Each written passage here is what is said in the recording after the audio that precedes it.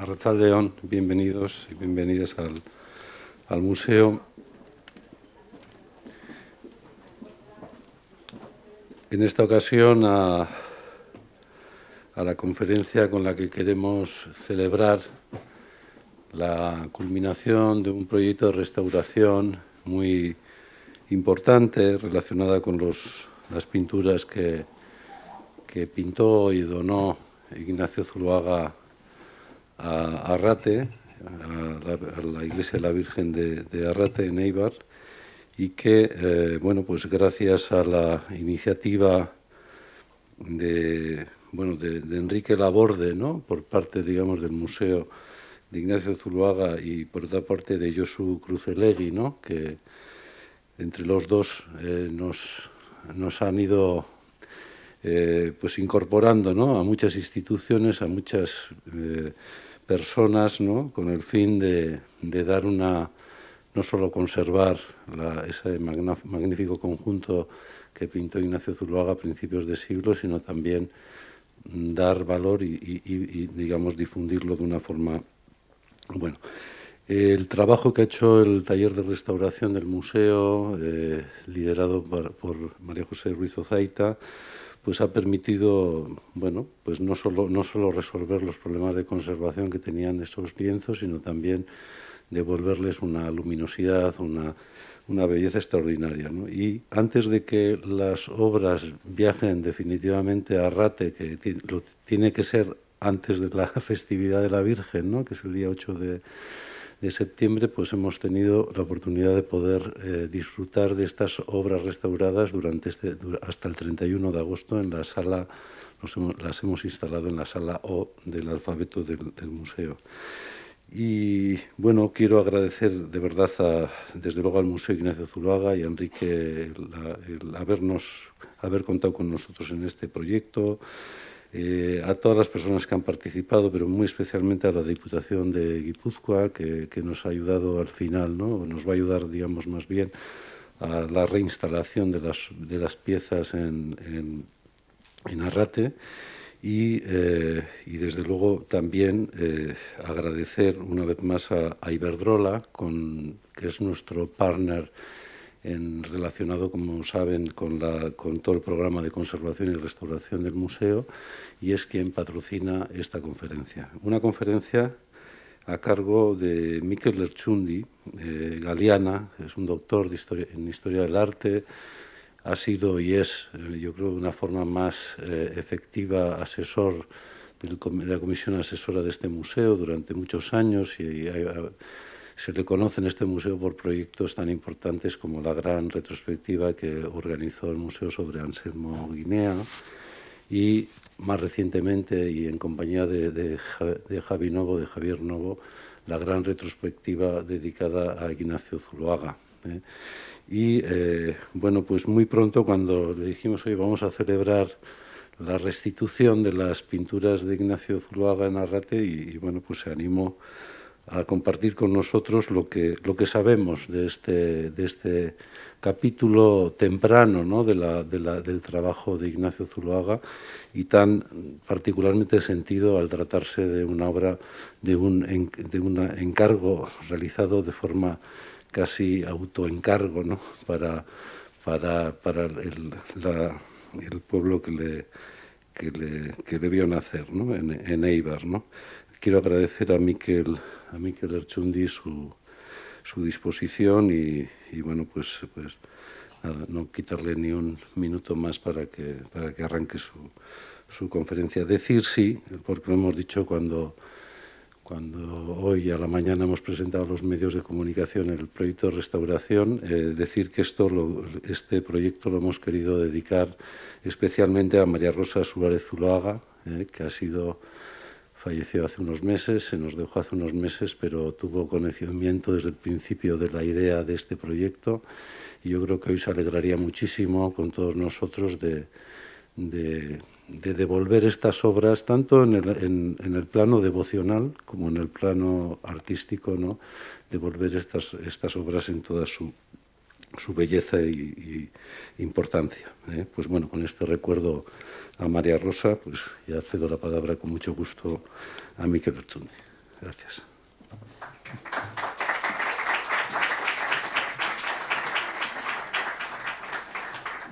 Gracias, Miguel, por, por tu presentación.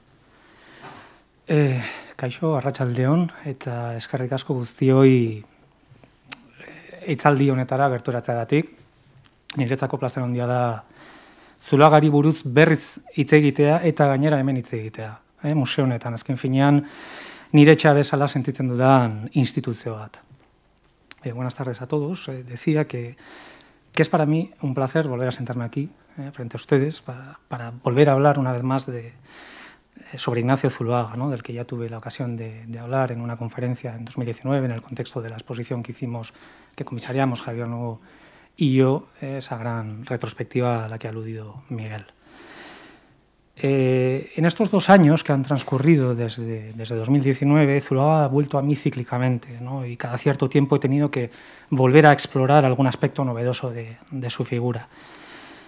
Eh, pero previamente, cuando Javi, Javi Nuevo y yo nos enfrentamos a la revisión del artista para el catálogo de la exposición, fuimos conscientes de la magnífica dimensión de, de Zuluaga, ¿no? de este artista, que fue un verdadero, un auténtico coloso, o sea, no, hay otro calificativo, bueno, sí hay varios más. Eh, un coloso, como digo, un artista con una movilidad y una capacidad de trabajo y de relaciones excepcional, ¿no? por lo que siempre hay nuevos aspectos que, eh, que desvelar y otros antiguos que revisar, que poner en cuestión de alguna forma. Cuando el museo me pidió que, que, hablara sobre los lienzos Arrate, ya sabía que me estaba pidiendo un reto, ¿no? porque pese a que las obras están aquí mismo, en Eibar, prácticamente a 7 kilómetros del, del, centro del pueblo, han sido siempre unas piezas bastante, bastante misteriosas. ¿no? Sabía, eh, sabía el museo, como digo, que tendría que sudar tinta para poder realmente tratar de establecer un relato coherente sobre cómo, eh, cómo se gestaron, cuál fue la motivación inicial, cómo se colocaron y las distintas vicisitudes a las que se habían enfrentado a lo largo de, de su historia. ¿no? Unas obras que, por otro lado, eh, en la gran mayoría de la bibliografía especializada sobre el pintor se había pasado prácticamente de, de puntillas. ¿no?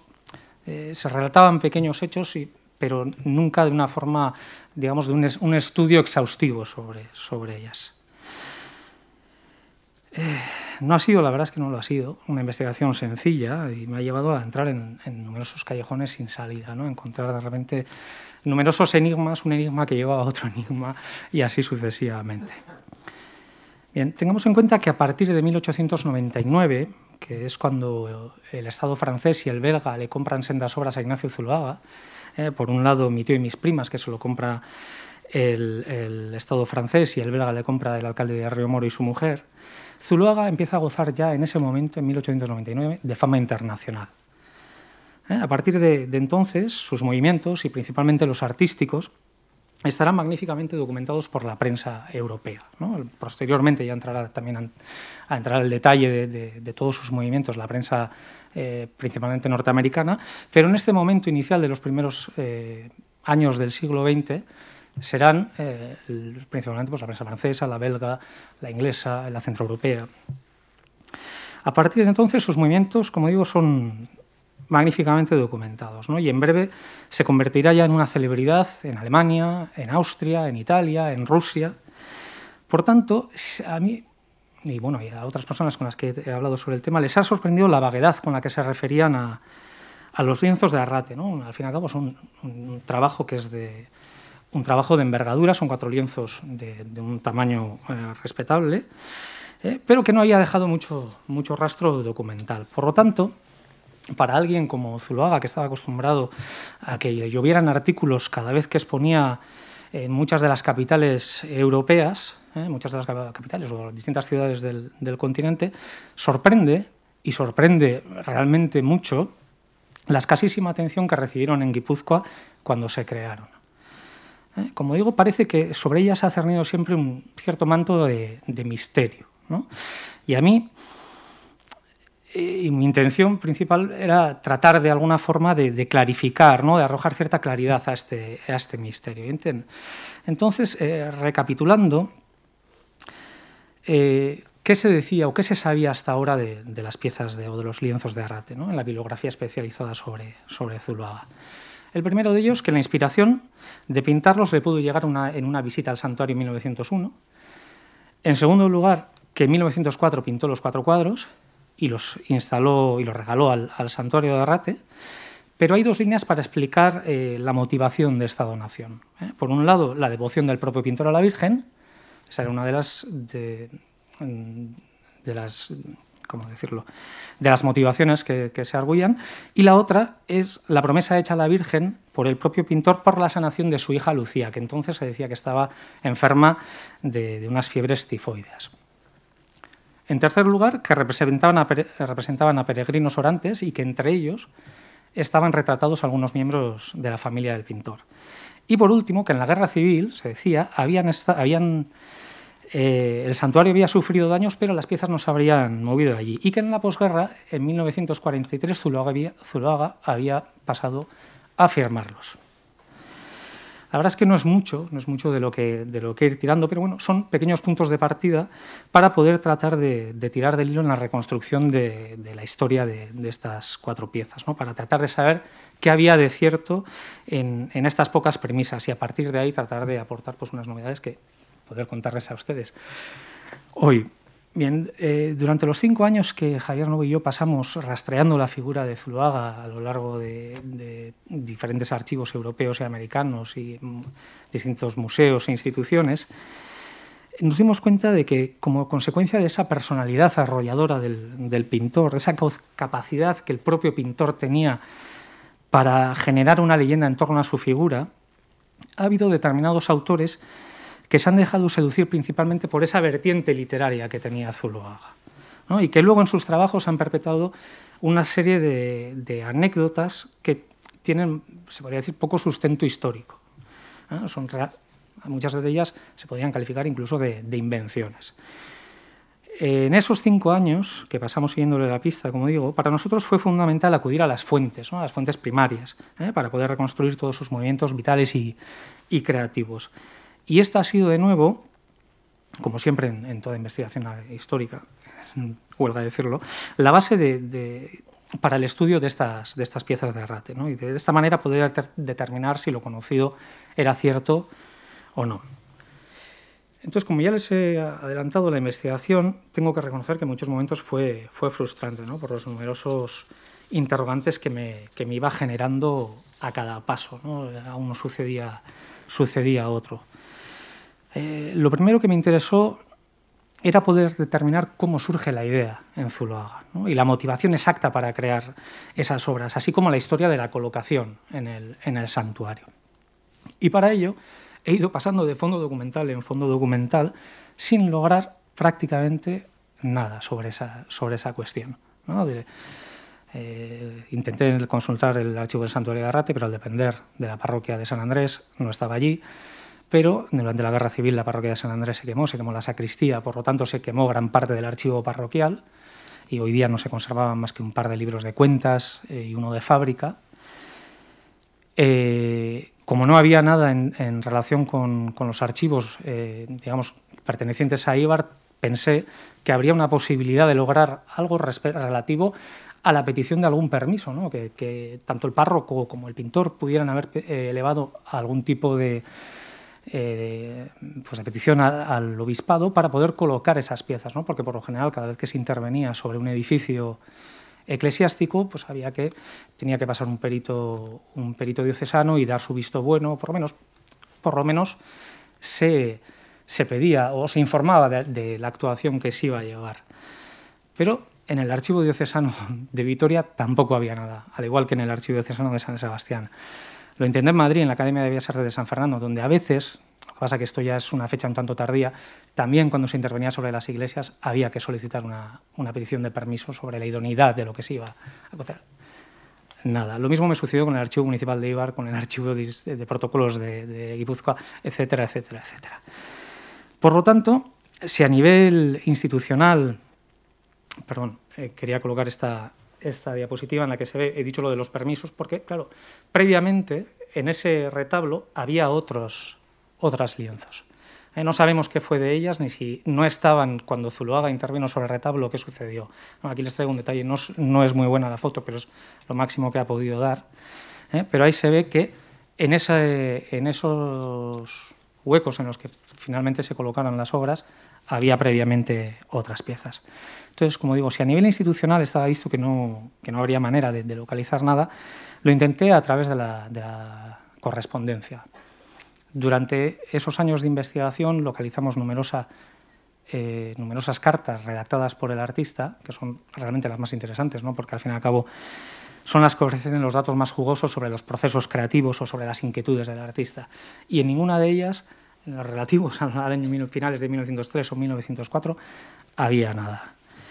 Entonces, mi última, mi última decisión fue acercarme a la prensa y revisar de forma sistemática todo el año 1904 a ver qué aparecía. Y, bueno, y con suerte, como prácticamente digamos que sería un, gran éxito conseguir localizar dos artículos contemporáneos en los que había unas menciones a las, a las pinturas.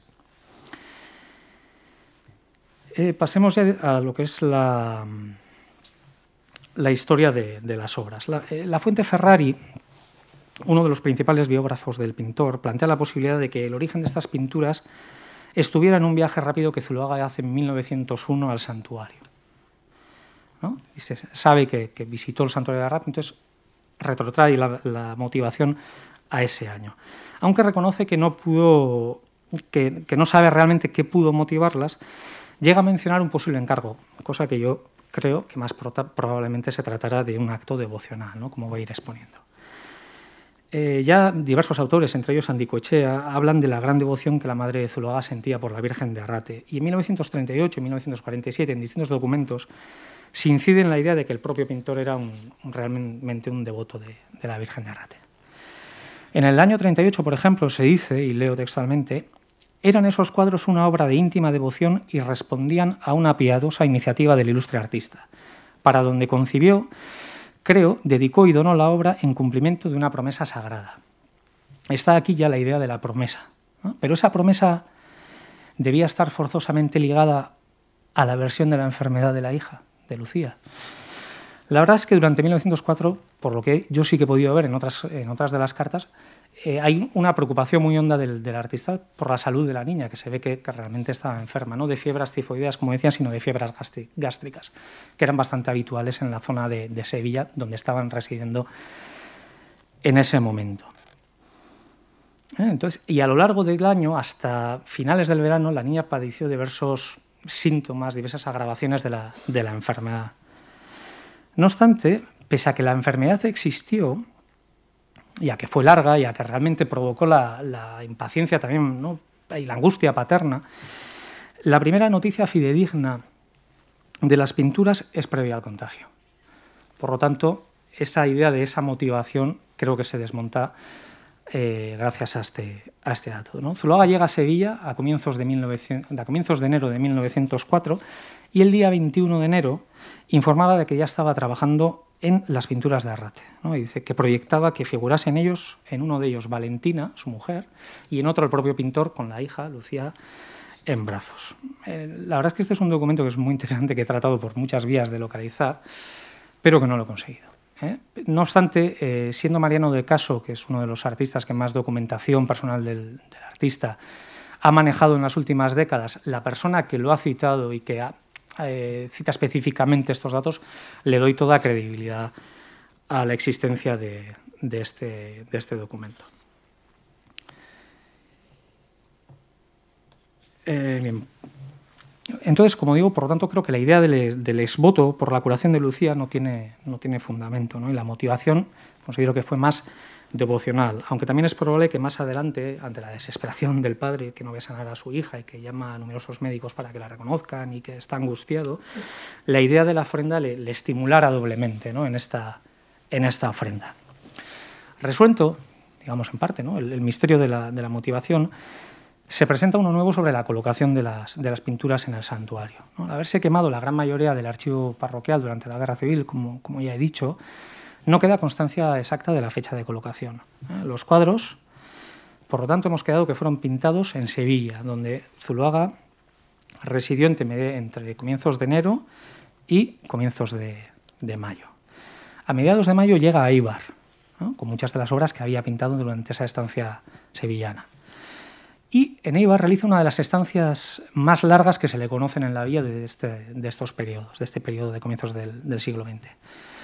Eh, casi con seguridad la enfermedad de, Lucía le, eh, evitó que pudiera moverse con la libertad a la que él estaba acostumbrado a moverse, ¿no? de que estaba constantemente yendo de, ciudad en ciudad y viendo museos, visitando exposiciones propias y ajenas. Entonces tuvo que hacer de Eibar su base durante, durante esa primavera y gran parte del verano. Por lo tanto, lo más lógico es suponer que aprovechara esta larga estancia para instalar las obras y a confirmarlo vienen los dos únicos testimonios contemporáneos que he encontrado, que son estas dos noticias de prensa a las que he aludido antes. El 9 de junio, durante los preparativos para una gran peregrinación que se proyectaba para el día 3 del mes siguiente, el 3 de julio, en Arrate, se informaba de que el artista depositará en el altar de la Virgen de Arriarte dos valiosos cuadros que representan esta peregrinación. Primera vez. Entonces, la, peregrinación la verdad es que se celebró con, gran éxito, ¿no? porque llegaron a acudir, según las crónicas, hasta, hasta 10.000 personas. ¿no? Pero en las descripciones que fui localizando en la prensa de esa, de peregrinación no se citan los cuadros. Hay una publicada en el diario tradicionalista La Constancia que describe incluso lo que es el interior del, del santuario. Dice, el altar se haya decorado eh, decorosamente adornado con follajes, ramos y flores, teniendo un golpe de vista espléndido, pero nada más. No hay ninguna mención más. Es posible que estuvieran colocados y que a los cronistas se les pasara por alto citarlos, pero la verdad es que me parece poco probable. Entonces lo lógico sería pensar que los instalara para la siguiente ocasión, que es el día grande del santuario, el día 8 de septiembre, el día de la Virgen de Arrate pero de nuevo nos encontramos en la misma situación. ¿Eh? En un artículo sobre la celebración se describe someramente de nuevo el interior y dice, su interior estaba adornado con mucho gusto, distinguiéndose entre guirnaldas de flores un hermoso rótulo en el que se saludaba a la Virgen sin mancilla en el lenguaje castizo y milenario de Hitor, es decir, en euskera. Y de nuevo nos encontramos en la situación, en la situación de suponer que en el caso de que estuvieran colocados, lo lógico habría sido que el redactor les hubiera dedicado, pues no sé, unas pocas palabras, ¿no? Al menos. La última ocasión para, colocarlos se presenta dos meses más tarde, ¿no? tras realizar...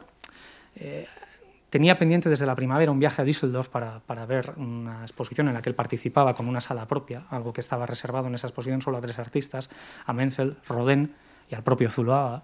Entonces tenía pospuesta la visita a, Düsseldorf por la enfermedad de su hija. Y en septiembre finalmente ya decide marcharse y recorre gran parte de, Alemania y de Centro Europa.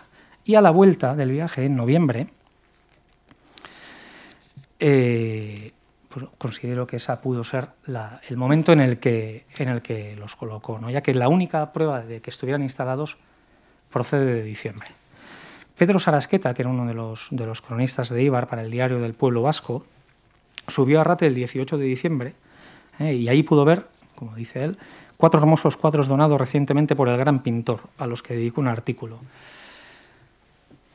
Recientemente, como unidad de medida temporal, la verdad es que es un término bastante vago, que podría referirse bien a junio, que es cuando, se, cuando pertenece el artículo anterior, o bien incluso a noviembre. Eh, pero para mí lo realmente sorprendente, para mí lo realmente sorprendente es que el texto fuera una iniciativa del, redactor, ¿no? del cronista de, Ibar, que decidió darse un paseo, pues aprovechando que hacía un día otoñal, de fin del otoño, realmente bueno, según explica en su texto, y aprovechando, como digo, la buena climatología, subió en un paseo a Rate y de aquella visita saliera el único artículo ¿eh? o la primera descripción que hay de los cuatro cuadros, ¿no? porque en el artículo va desgranando la descripción de las cuatro piezas. Y digo que es sorprendente porque, eh, porque no se adecua a los procedimientos que, seguía el pintor. ¿no? Zuluaga fue un, verdadero maestro de la, comunicación y a partir de, de mediados de los años 90 estuvo siempre preocupado de, lograr la máxima publicidad para su producción. Y solo hay que ver la, habilidad con la que se había manejado en sus primeros éxitos en París. Gracias a la, en parte a la mediación de su, cuñado, Maxime de Thomas, cuando estaba todavía en esos primeros escalones de, lo que sería su, ascenso meteórico hacia el, hacia el éxito, supo tocar las teclas para concitar la atención de, dos personajes muy importantes en el París, de, por lo menos en los cenáculos artísticos de, París de fin de siglo. Por un lado, Madame Bultot, la accionista de Le Figaro, y por otro, el, del principal crítico artístico del momento, Arsène Alexandre, que escribía también en El Figaro. ¿Eh? A ambos los trató con cierta asiduidad y a ambos les regaló estas dos piezas, la de la izquierda a Arsène Alexandre y la segunda a Madame Bultot. A partir de entonces muestra siempre una gran destreza para generar expectación ante sus nuevas obras, para presentarlas en sociedad y para alertar a los críticos de aquello que iban a ver, y para que estuvieran pendientes de, los nuevos alumbramientos y de generar un cierto ruido mediático en, la prensa. Sin embargo, ese mismo diciembre de 1904, durante su estancia en Madrid, después de, estar en Eibar, marcha a Madrid por un espacio de dos meses, es agasajado allí por, la colonia artística madrileña, pero también un grupo de vascos y un grupo de catalanes que se acercan. Y digo, como es, digo, es agasajado en un, en un homenaje organizado por muchos de, sus amigos. Y a raíz del acto, Ramiro de Maeztu, amigo, visitó su estudio y redactó un texto en el que no deja constancia tampoco ningún tipo de mención a las obras. No hay ningún tipo, nada. Pero es que previamente, durante el verano, Ramiro de Maeztu le había visitado junto con Regoyos en Eibar. Y tampoco, y, le había visitado en Eibar porque estaba residiendo en San Sebastián como eh, articulista, había, digamos, estaba aprovechando su estancia veraniega para ser redactor del Pueblo Vasco, uno, de los, uno, de los, periódicos que más atención prestaba al arte en, San Sebastián. Le visita en Eibar junto con Regoyos tiene que ser más que probable que viera las obras y por lo menos oyera hablar de ellas y sin embargo durante toda su participación en, las crónicas del pueblo vasco tampoco, tampoco dejó nada redactado. Por tanto, todo este mm, rosario de, omisiones parece dirigido a una estrategia de, de discreción absolutamente opuesta a la rentabilidad publicitaria o divulgativa que, marcaba su promoción personal, ¿no? a todas esas formas de actuar que tenía, como he dicho, por ejemplo, en, París. ¿no? E incluso el hecho de que parezca que no estuvieran colocados ni en junio ni en septiembre, eh, en cierta manera redunda en esa idea de que esta ofrenda fue algo verdaderamente íntimo. Y por lo tanto podría interpretarse que, eh, que el autor conscientemente evitó los días en los que habrían tenido una mayor, una mayor visibilidad. Y a todo ello también redunda el hecho de que los dejara sin firmar, ¿eh? porque durante 20 años los cuadros estuvieron sin firmar. Eh, no lo sabemos con, seguridad, pero es de suponer que en alguna de sus visitas al, santuario observara que habían sufrido algún tipo de, daño y se decidiera para volver a retocarlos. El acto la verdad es que fue todo un acontecimiento familiar, ¿no? porque yo acompañado de toda su familia, pero al proceso de retocado y de, firmado asistieron también varios sacerdotes de la villa, al menos tres de ellos. Y de ellos dos dejaron constancia de, aquel, de, aquella, visita, que se debió producir en torno al año 1924 o 1925. Es más que probable que estas fotografías que aquí ven de Pablo Uranga con dos de los lienzos de Arrate eh, sean, fueran tomadas precisamente durante aquella visita en la que se sacaron del retablo para ser retocadas y, firmadas. Eh, quería aprovechar para agradecer a la Fundación Zuluaga que me haya permitido mostrar estas dos, estas dos piezas. ¿no? Se ve claramente como la firma que aparece en la, en la obra de la derecha, que es una foto de pieza restaurada, no está en la foto en la que la sostiene Pablo, Pablo Uranga.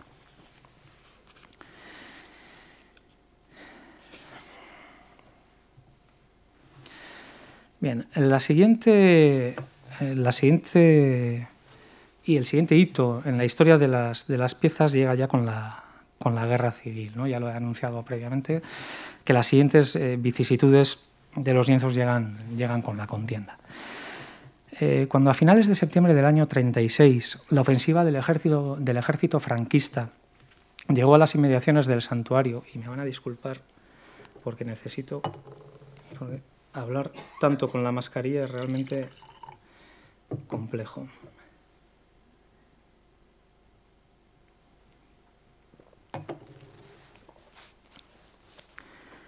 Miren, entonces, como decía, eh, cuando a finales de, de septiembre del 36 la ofensiva franquista se estaba acercando a Ibar, y acercándose, por tanto, a las inmediaciones del santuario, los cuadros y la imagen de la Virgen fueron puestos a buen recaudo en Eibar. ¿no? Se bajaron y se depositaron en el Hospital de la, de la Sangre, ¿no? con la intención de defenderlos de los posibles daños que la artillería podía ocasionar sobre, sobre ellos. Pero en febrero del año siguiente, cuando las tropas franquistas todavía avanzaron más hacia la, hacia la villa, eh, la Dirección General de Bellas Artes, Archivos, Bibliotecas y Museos del Gobierno de Euskadi al frente de la que se encontraba el, pintor José María del Celay, decidió evacuar los cuadros del pintor para que fueran puestos a, buen recaudo en, Bilbao. Y uno de los oficiales de la dirección, de hecho, fue Chiqui, ese dibujante y cartelista tan conocido en San Sebastián, John Zavalo, que fue el encargado de traerlos desde, desde Ibar a, Bilbao. Aquí pueden ver el acta de, entrega de, esa, de esas cuatro obras eh, entonces, ¿qué sucedió? Que muchas de, las obras de arte custodiadas por el gobierno de Euskadi fueron trasladadas con las otras obras de este museo a La Rochelle. ¿eh? Y de allí al, Banco de Francia en Limoges. Entre ellas se encontraba, por ejemplo, otra de las pinturas de Zuloa que Zavalo, ¿eh? el agente de, esta dirección general que acabo de citar, trasladó a Ibar, que como pueden ver aquí abajo, el cuadro de la derecha, no tengo un puntero, el cuadro de la derecha es el retrato del Marqués de Campo Alegre, que hoy día pertenece a las, a las colecciones del, Museo de Bellas Artes de Bilbao.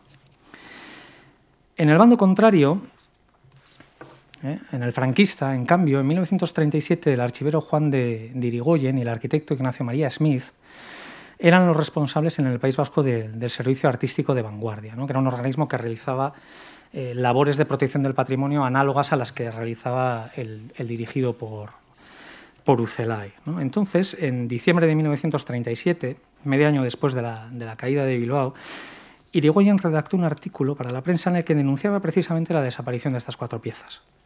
Y consideraba que habían sido arrastradas, como tantas otras, al extranjero para quienes se habían erigido en defensores del patrimonio artístico del pueblo vasco La misma versión eh, constaba también en el informe de,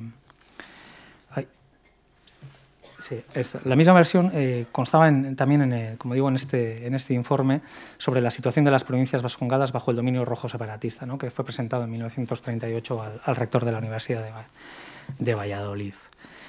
Sin embargo, no debió de ser así, ¿eh? no debieron de, partir al extranjero, porque en otro artículo del propio Irigoyen, redactado ocho años después, en el año 1945, relataba como un vecino de Ibar le denunció, le había dado un chivatazo eh, le había eh, informado personalmente de que, y leo de nuevo textualmente, dando incluso la referencia del lugar donde se hallaban guardadas en Bilbao. Eh, por lo tanto, estaban escondidas las cuatro, las cuatro obras en Bilbao. Gracias a esa información nos hicimos con los cuadros mi amigo y compañero de servicio Ignacio María Smith y yo, guardándolos desde entonces hasta el momento de transmitir el depósito a la comisión judicial que se nombró luego con verdadero cuidado. No queda claro cuándo fueron localizados exactamente, ni cuándo fueron restituidos a su, ubicación original. Y aunque en alguna ocasión eh, se ha afirmado que Zuloaga los volvió, a, retocar tras la guerra, yo tampoco he conseguido documentar ese extremo.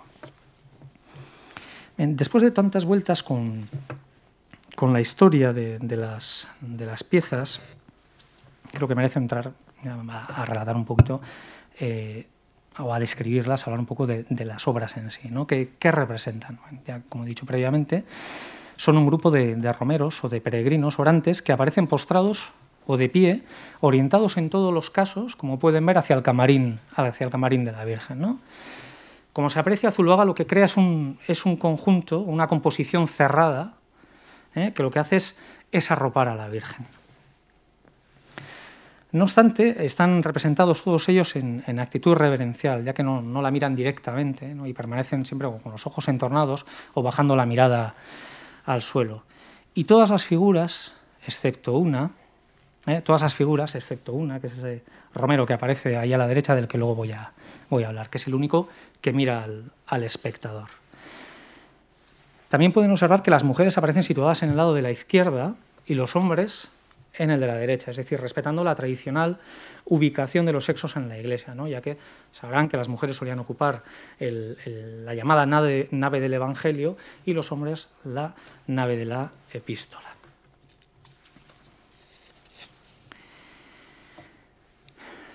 Bien. Además, eh, los lienzos eh, constituyen una descripción interclasista e intergeneracional de la Virgen de, la, de, veneración hacia la Virgen de Arrate. ¿no? En ellos están representadas diversas clases sociales, ¿eh? desde el burgués al labriego, y diversas edades, desde la niña hasta los ancianos. Queda claro que el, conjunto lo que simboliza es la adoración de todo un pueblo a su Virgen, ¿no? más allá de las diferencias que les podían, que les podían separar. Por otra parte, los lienzos de, los extremos hacen pendant, ¿eh? como se puede ver, y muestran las ofrendas que los, que los romeros hacen a, la Virgen. A la izquierda, la mujer que permanece de pie, pueden ver que porta un ramo de flores, y en el lado opuesto, ese romero lleva una, calavera en, en sus manos. Este segundo tema en concreto parece estar inspirado por una tradición que, según Irigoyen, Zulaga sentía como íntima por estar muy arraigada en su, en su propio hogar, ¿no? en, su, en, su, familia en, Eibar, ¿eh? la de la cofradía de la calavera de, de Arrate. ¿no? El santuario tenía una cofradía que fue fundada en la hermandad de socorro entre, entre sus miembros, ¿no? algo realmente habitual, y que estaba formada por feligreses de la parroquia de San Andrés de Eibar y feligreses también del santuario de, de, Arrate. Estos miembros tenían un privilegio y era el de enterrarse en el osario de la iglesia, ¿no? que quedaba eh, a espaldas del, altar mayor. Y en los funerales de los cofrades lo que se hacía es eh, se levantaba un túmulo tras la reja del altar sobre el que se colocaba el, cadáver eh, en corpore insepulcro, que se dice, ¿no? de cuerpo presente, y sobre el túmulo también una calavera velada con una mantilla de tul. ¿Eh? Ciertamente, la verdad es que, como reconoce la fuente Ferrari, el tema era de, era de lo más zuluaguesco, de España fuerte, negra y ascética, que dice, que dice la fuente. El propio La Fuente opina que, durante aquella visita que Zuluaga hizo a Rate en 1901 pudo tal vez asistir a, un funeral en el santuario y que la impresión que le produjera ese ambiente, esa escena, le sugiriera la, primera idea de, pintar estas, cuatro piezas.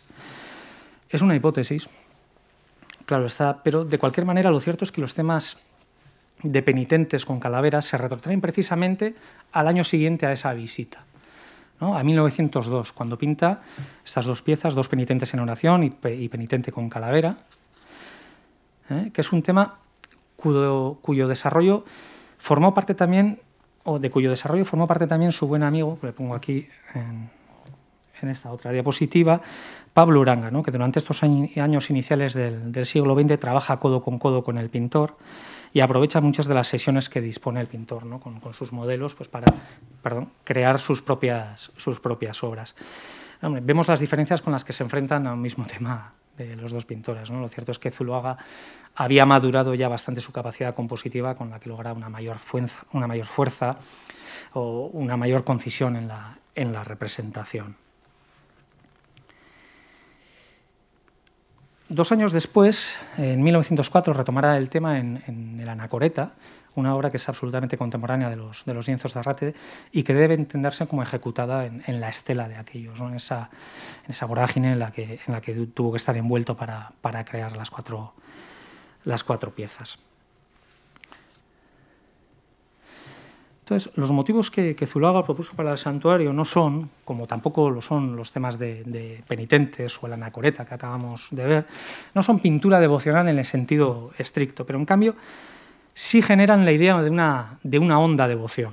Cuando Sarasqueta, el cronista de Ibar, que dijo, que he contado antes, que subió de excursión a Rate aquel diciembre de, de 1904, redactó, asombrado quedé al contemplar el arte de Zuloaga no supe qué admirar más, si la delicadeza de sus pinceles o su creadora imaginación.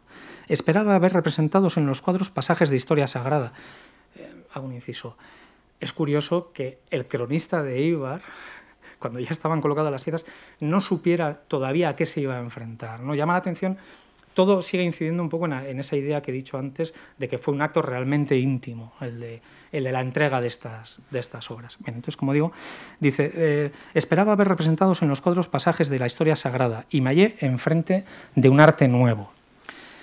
Y efectivamente, ¿eh? se trataba de un arte nuevo, de unos cuadros que formaban parte de, la evolución que se estaba operando en la obra de, Zuluaga en estos años, en los que empezó a, a cambiar gradualmente un acercamiento pintoresco a España, que, todavía es bastante marcado en algunos de esos cuadros iniciales de, pintados en Sevilla en estos primeros años, de, en los años finales del 19 y los primeros del, del 20. Como digo, empezaba a cambiar esa, esa visión pintoresca por otra que reflejara sus componentes eh, atávicos, místicos y dramáticos. Hay que tener en cuenta que a partir de, de 1893 eh, Zuluaga vuelve de forma progresiva la mirada hacia la, pintura española ¿no? y encuentra en el Greco, en Velázquez, en Rivera y en Goya eh, la concisión, la sobriedad y la energía que armonizaban con su propio temperamento, con ese temperamento con el que él siempre eh, en los años iniciales de la década de los 90 estaba inquieto, ¿no? porque trataba de, de encontrar un camino, el camino que él creía al que estaba destinado y estaba realizando diversos tanteos que no conseguían satisfacerle. Entonces, como digo, a partir de 1893 ella empieza a ver, a ver el camino ¿no? y dejar de algún lado esos tanteos parisinos en torno al naturalismo, en torno al impresionismo o incluso el, simbolismo.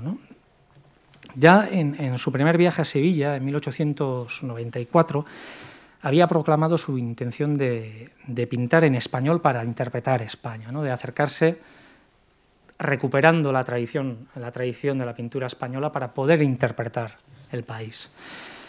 Y en ese cambio de siglo es cuando Zuluaga comienza a definir su deseo de, recoger las cualidades atemporales de, una España aldeana, entre entre las que concede una especial relevancia a las manifestaciones de su, intensa, eh, de su intensa religiosidad, que le impulsa a recurrir, como he dicho ya antes, a Rivera, a Zurbarán o incluso al Greco como modelos para poder interpretarla.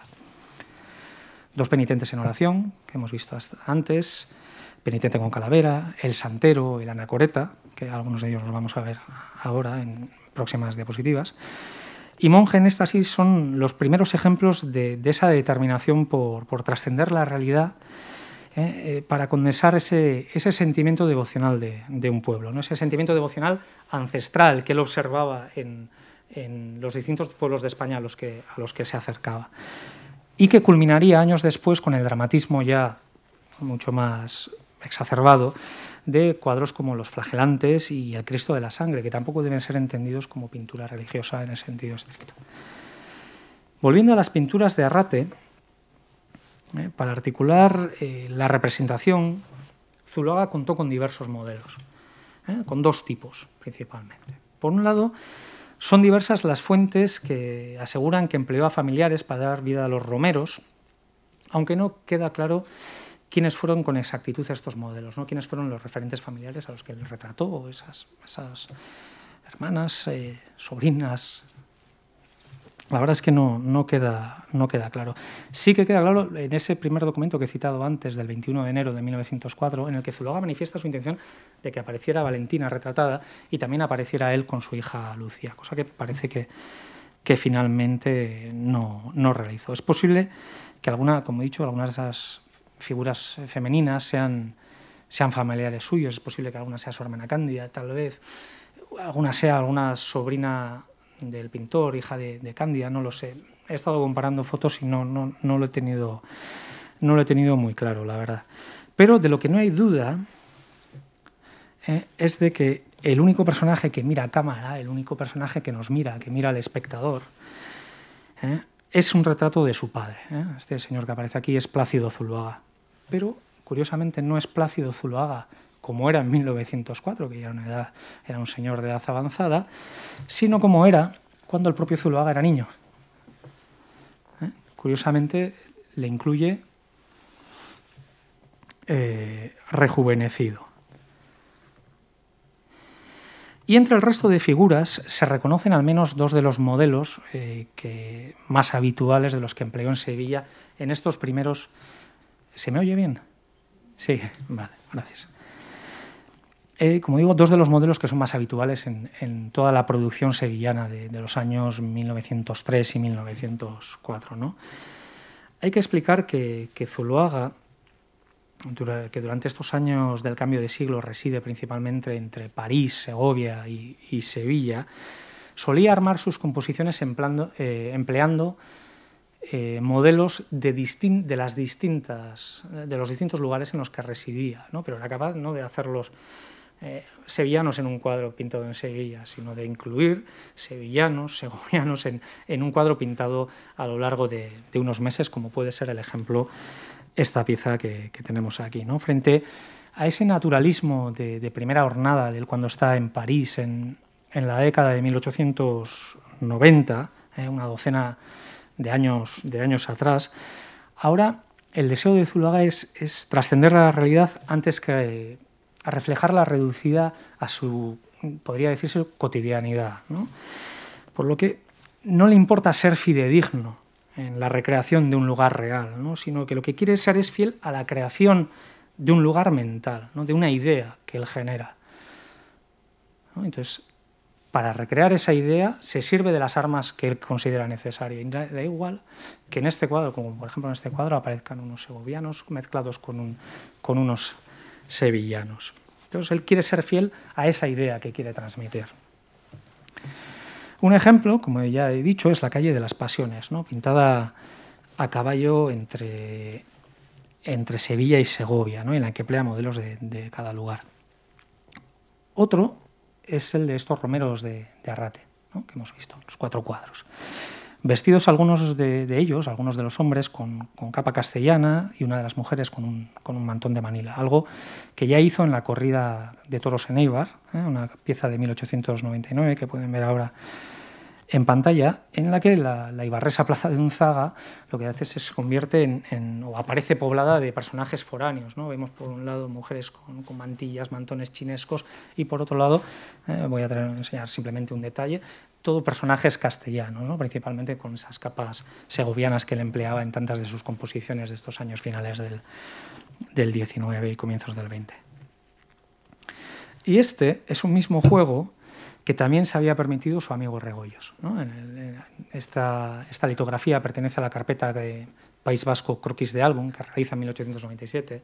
Esto sería ya otro tema, pero bueno, es un proyecto que, nace inicialmente para, para ser realizado entre Zuloaga y Regoyos, lo que pasa que al final Zuloaga deja Regoyos, eh, lo deja plantado y tiene que ocuparse el solo de, de la carpeta, pero como digo, Regoyos ya coloca en la, bahía de la Concha a estos, eh, a, estos charros o segovianos o lo que fueran eh, en, un momento previo al, turismo de masas. Estamos en 1897 y no tiene, realmente mucho sentido.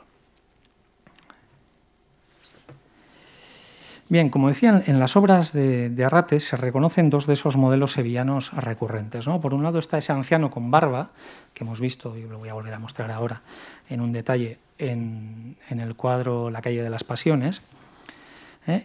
Que aparece aquí en el cuadro, en el cuadro 3 de, Arrate, y probablemente también de espaldas en el cuadro, en el cuadro número 4, ese personaje ¿eh? que se ve solo la parte trasera del del pelo. Entonces, este señor del cuadro 3 y del cuadro 4 aparece en esta pieza del Santero, he traído aquí una foto antigua, aunque ustedes probablemente la pudieron ver en la exposición de la colección Valdés que se celebró el año pasado en este museo, cuando ya Zuloaga la había recortado. ¿eh? Y, como digo, también es el anciano florista que aparece en la calle de las Pasiones.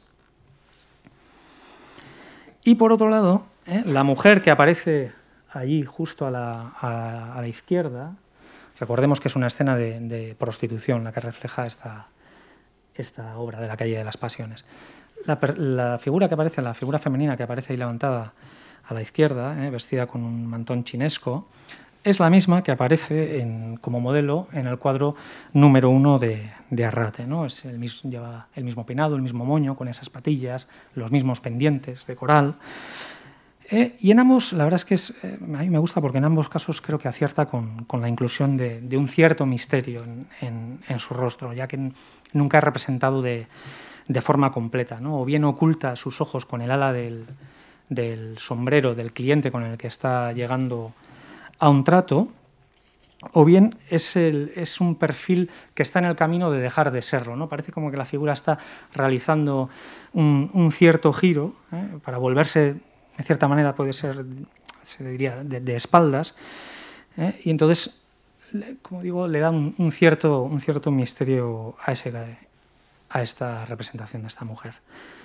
Y este es un, recurso que emplea en, varias ocasiones. Yo he traído un par de ejemplos más eh, contemporáneos, no estrictamente, pero bastante contemporáneos, eh, que son este gitano de Alcalá de Guadaira, en el que vemos esa misma tendencia, es un cuadro pintado en, Sevilla unos pocos años antes, o en Parisienses, San Cloud, otro cuadro de prostitución que trajimos también a la exposición el año pasado.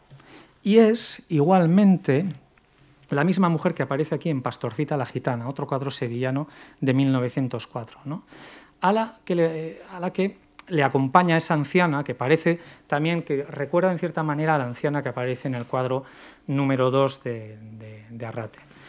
Este cuadro es una, bueno, considero yo, una cierta primicia eh, mostrarlo hoy con una, con una fotografía de, de calidad, que podamos verlo en color, ya que es un cuadro que hemos localizado recientemente en, Estocolmo.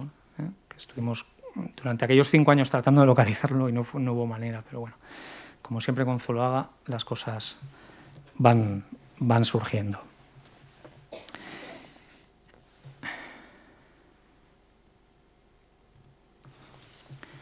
En cuanto a la composición, como, como he dicho antes, para este momento eh, Zuluaga ha definido ya, ha definido ya su manera, ¿no? una manera que se hereda de los grandes maestros de la pintura española, ¿eh? de la gran tradición pictórica española, ¿no? y que tenía al Greco, a Velázquez, a Rivera y a Goya como principales referentes. De estos tres últimos, de Velázquez, de Rivera y de Goya, adoptó el esquema compositivo que lleva a sus figuras a, a sus figuras a habitar en el primer plano. ¿no? Siempre están cerca, ¿eh? cerca de lo que es el, plano pictórico y de, esa forma lo que hacen es colmar todo el espacio, el espacio del, lienzo. ¿eh? Y se suelen recortar por lo general con un punto de vista ligeramente bajo sobre, el, sobre los celajes. Y eso lo que lleva es a moderar el protagonismo que el paisaje tiene en sus obras de este, de este periodo. ¿no? Aumentará el, protagonismo que, eh, que, el paisaje, como digo, irá aumentando a lo largo de las décadas. En décadas posteriores sí que vemos que el paisaje ya tiene una cierta... También porque él lo, empezará a trabajar más como género autónomo. Pero todavía en este periodo eh, el protagonismo es bastante, bastante limitado. Bien, como se advierte en, el conjunto, eh, el paisaje es prácticamente inexistente ¿no? y lo resuelve de forma realmente sintética, prácticamente como una línea del horizonte muy baja una línea de tierra que se ve, que da una cierta continuidad espacial a los cuadros 2 y 3. De, alguna forma, volviendo ligeramente atrás, parece que hay una cierta continuidad espacial en, todo, en, todo, ese, en todo este conjunto.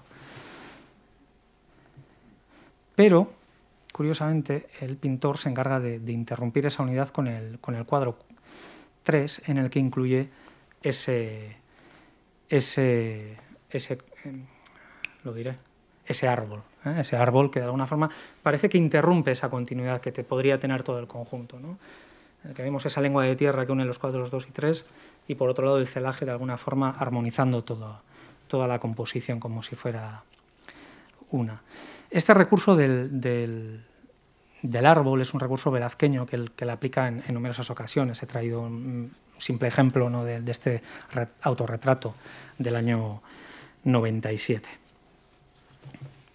Como digo, es precisamente este, este árbol eh, el que rompe, en cierta manera, la unidad espacial del conjunto. ¿no? Sin él, yo creo que sí que actuaría más claramente a modo de, un friso. ¿no? Entonces, eh, si muchos de los elementos que componen estas obras son comunes a la producción contemporánea de Zuluaga en Sevilla, ¿no? como la composición, el colorido, eh, los modelos, hay uno que, sin embargo, se diferencia notablemente del resto, que es el celaje que solo tiene parangón en el cuadro que acabo de mostrar de, Pastorcita la Gitana, eh, que les acabo de mostrar, en el que hay una, hay una relación muy clara entre cómo, cómo trabaja el celaje con el de las cuatro piezas. Por lo general, Zuluagas tiende a recurrir a, celajes o a cielos muy cargados, ¿no? oscuros, que acentúan de alguna forma el dramatismo de muchas de, sus composiciones, o el dramatismo de muchas de sus escenas. Pero aquí se decanta por, por una... perdón.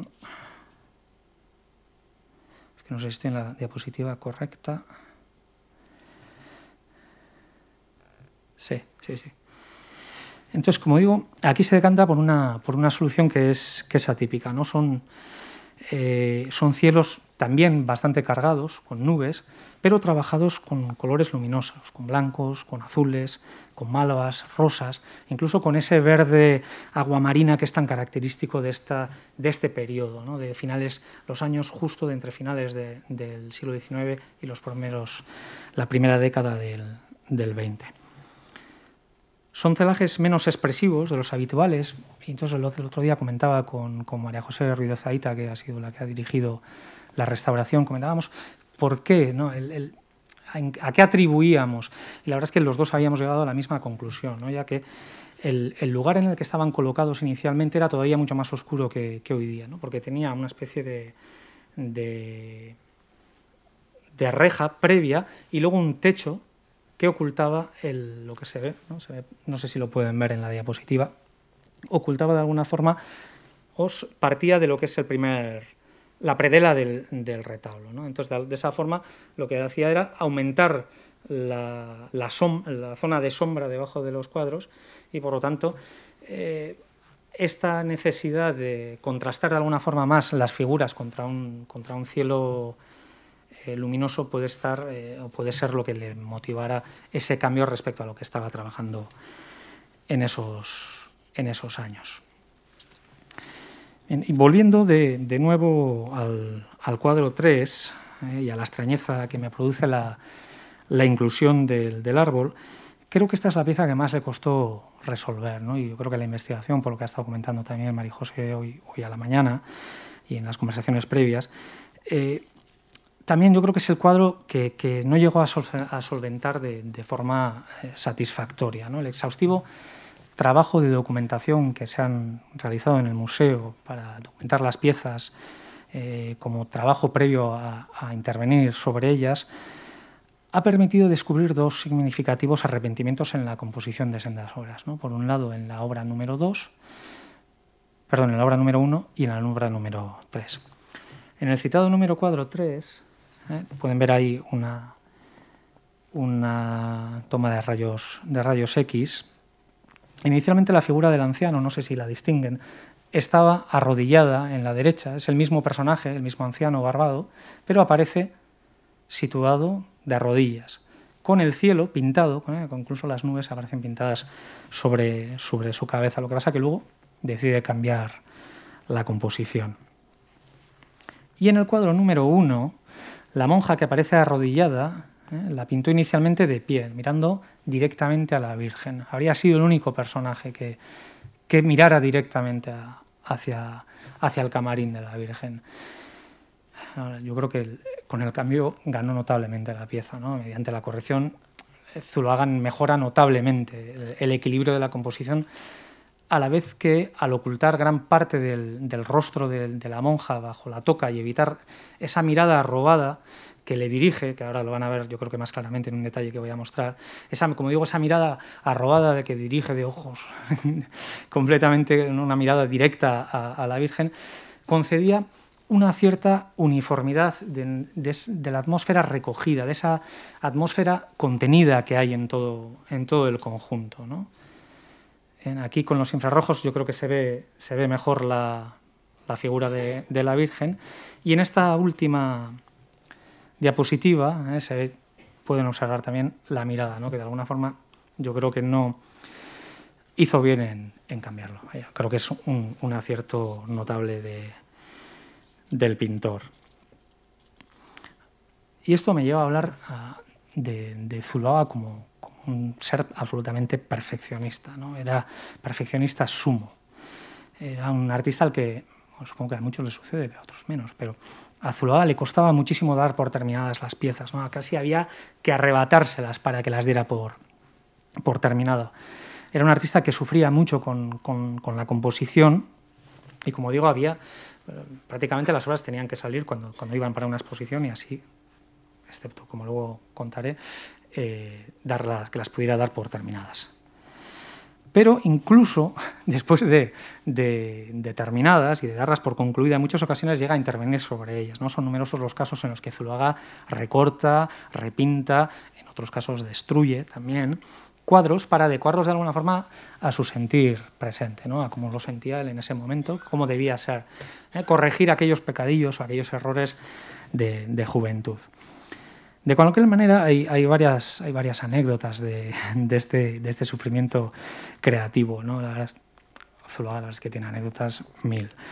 Eh, em, hay, hay unas muy bonitas que relata Rusiñol de cuando están viviendo juntos en, en la isla de la Cité, en París, los problemas, los gritos que dirigía, que llegaba a, acuchillar los lienzos ante la desesperación porque no le, no le salía lo que él, lo que él pretendía, ¿no? de llegar hasta, hasta la destrucción de la pieza. Eh, pero hay otra anécdota que a mí me gusta mucho y me voy a permitir contársela, y que ilustra precisamente los constantes quebraderos de cabeza del, del pintor, ¿no? que se enfrentaba a esa, a esa incapacidad para dar por cerradas las piezas. Esta es una obra, Víspera de los Toros, con la que él logra el éxito internacional en, 1800, en 1900, perdón, eh, y que ilustra precisamente esos quebraderos, como digo. Él estaba pintando este cuadro en Sevilla, ¿eh? en un estudio que era muy pequeño. Entonces, no tenía tiro para poder, para poder ver cómo avanzaba la composición de un cuadro, que ahora no recuerdo las dimensiones, no las he apuntado, lo siento, pero es muy grande. Si lo vieron en la exposición lo recordarán porque es muy grande, no sé, son dos y pico por tres y pico. Entonces, no tenía tiempo. Entonces, cada vez que tenía que ver cómo avanzaba la obra, tenía que sacarla del estudio al exterior y volverlo a meterlo para seguir pintando. Entonces, eso ya le gestionaba muchos, muchos problemas. Da por concluida la obra y la envía a Barcelona. La obra a Barcelona una exposición en el año 1898. Llega la exposición a la obra y Zuloaga se desplaza a visitar la exposición. Allí se encuentra con Miquel Utrillo, con Josep Jordá, un periodista, amigos suyos de París, y se acercan a ver cómo había instalada la pieza. Entonces, cuando la ve instalada, que llevaba su maletín de pinturas, dice, quiero retocarla un poco, quiero darle unos retoques. Entonces Utrillo le dice, hombre, no, Ignacio, ahora no, porque ya está instalada, no te van a dejar. Entonces, del bolsillo sacó un cortaplumas. Esto lo relata eh, al poco tiempo Jordá, ¿eh? no es una cosa transmitida mucho tiempo después. Saca un cortaplumas y elimina del lienzo un, pedazo, pues como un palmo, digamos, de pintura. Se dirige donde un ujier y le dice, oiga, miren que al instalarme la pieza me la han estropeado. Tengo la suerte de que tengo aquí el maletín y entonces retocó eso y retocó otras cosas más. Pero que no terminó la cosa, que si la obra se la vendió a Rusiñol y eh, luego la quiso exponer en París y posteriormente en Bélgica, en Bruselas, y se la pidió. Y cuando se la pidió, al, al enviarla a Bélgica, le eliminó, no sé si lo ven, una niña que había ahí. Bueno, eh, para ir cerrando ya esta, la conferencia, solo me quedaría referirme brevemente a lo que es la técnica del, pintor. ¿no? Zuluaga, la verdad es que es un artista que es muy gustoso para, para la contemplación, ¿no? ya que su pintura, en su, en su, forma de pintar, se trasluce esa fuerza, esa, esa energía de ese movimiento creador del, del artista. ¿no? Podría decirse casi como que es un, su pintura es un sismógrafo de, de, de, esa actividad creadora del, del pintor. La no me voy a detener a revisarla, habría mucho que hablar, habría muchas cosas que decir, no me voy a detener a, revisarlas con detalle, estas, estas piezas, la forma en las que están pintadas, pero les emplazo a que en las próximas semanas, ya que vamos a tener esta oportunidad inigualable de contar con las piezas en el museo, eh, no dejen de aprovechar la ocasión de acercarse, de poder verlas en directo y solazarse con, con, la sensación de, ver cómo, cómo pinta Zuluaga, qué, cuál es su, verdaderamente esa capacidad magistral que él tenía para, para la pintura. Tengan en cuenta que luego cuando estén instaladas en el santuario, pues bueno, lucirán, lucirán mucho mejor por el esfuerzo que se ha hecho desde la Diputación de Guipúzcoa para lograr una nueva, eh, unas mejoras en el emplazamiento a nivel de cristales y iluminación, pero bueno, el, esa relación que se puede establecer como espectador ahora en un museo es, inigualable.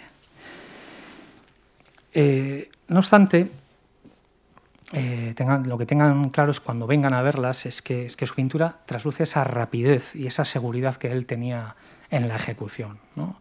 Él es un artista superdotado, ¿no? que cuando vengan a observar, bueno, ya vendrán esa capacidad sintética que tiene su, pincelada ¿no? para resolver los detalles mediante manchas rápidas, ¿no? la amplitud y la, espontaneidad también de, esa pincelada, que de alguna forma no cabe duda que que él aprendió también observando a Manet, ¿no? esa, esa amplitud y esa, esa frescura, como digo, de, la pincelada de, viene de un maestro al que él, a que él admiraba. En esa, en esa frescura, como bueno, he traído aquí un detalle de, un cielo para que puedan ver cómo se ve ese movimiento, ¿no? se puede seguir perfectamente el movimiento de la mano del pintor, ¿eh? la gestualidad de, la mano del, del, propio artista en, en cómo, en cómo pinta muchos de los elementos que van a ver en el cuadro. Eh, y también deben, no deben pararse en la diversidad de, recursos para, representar distintos aspectos. Eh, los motivos del mantón chinesco, por ejemplo, que son manchas que parecen aleatorias cuando uno las ve de cerca y cuando se aleja cobran todo su sentido. O, la diversidad también de recursos para representar la transparencia de, los tules, como este detalle que he traído aquí, que es eh, se ve la, forma de, acariciar de alguna forma la, pintura en seco, ¿no? que es algo que pueden ver también, ¿no? como él pinta eh, fresco sobre seco, pero también muchas veces fresco sobre fresco, ¿eh? permitiéndose la mezcla. Eso permite conocer la, rapidez de ejecución con la que él trabajaba y la seguridad que él tenía en, en lo que hacía. Y refiriéndome a esto de las transparencias, es muy bonito este detalle. Eh, que también lo comenté en su día con, con Marijose, de cómo con la contrera del pincel ha ido eliminando esa capa de pintura en fresco, eh, ven ahí como con la parte de atrás del pincel, eh, ha hecho ese recorrido en zigzag del tul para permitir reflejar esa, esa transparencia. De cualquier manera, yo les invito a que las disfruten contemplándolas durante las próximas semanas. Y para terminar ya, ahora sí, Me gustaría recordar las palabras que Zuluaga les dirigió a, los cuadros cuando los firmó y retocó en aquella visita que hizo a Rate en torno a 1924-25. Eh, según varios de los testigos, cuando terminó, se despidió de las piezas diciéndoles, ahí os pudráis. Ese ahí os pudráis, eh, esa, esa especie, esa suerte de imprecación ¿no? que les lanza, pues bueno, habría sido efectiva de no mediar este trabajo tan excepcional que se ha hecho en esta ocasión, ¿no? con la decidida intervención de todos los actores que, se han implicado en la restauración y en el estudio de estas piezas. Una iniciativa que, como ya ha comentado Miguel, ha sido dirigida por la Fundación Museo Ignacio Zuluaga, con Enrique Laborde a la, a la cabeza y con la ayuda también de Yosu Gurzalegui, eh, que ha logrado la colaboración del Obispado de San Sebastián, de la Parroquia de San Andrés de Eibar, de la Diputación Foral de Guipúzcoa y del Museo de Bellas Artes de Bilbao, y en especial de ese departamento de restauración tan excepcional que hay en la casa y por el equipo aquí constituido por, por Laura, Elvira, Estefanía y María José Ruiz Ceita a la cabeza, ¿no? capitanando todas ellas, que ha dirigido la, la, restauración, permitiendo, como ha explicado ella muy bien a la mañana, ¿no? que tengan esa uniformidad de resultado en, en la restauración. Y sin más, muchas gracias a todos.